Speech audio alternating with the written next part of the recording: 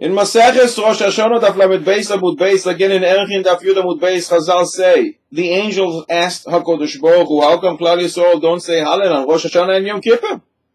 And HaKadosh Baruch Hu responded, Omar, he said, Efshar Melech Yoshev Al Kise Din." they are all judged today. וספרי חיים וספרי מייסים פסוחים לפונו. וישראל אומרים שיר, can it be? It's judgment. Both the books of those who are alive and those who are dead are open in front of the king, and Klal Yisrael will say Hallel. And that is why we don't say Hallel, the Chassam Sofer explained.